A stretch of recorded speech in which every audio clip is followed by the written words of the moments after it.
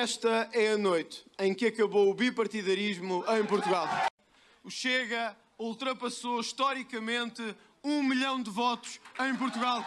Um... Esta é uma vitória que tem que ser ouvida em muitos locais deste país esta noite.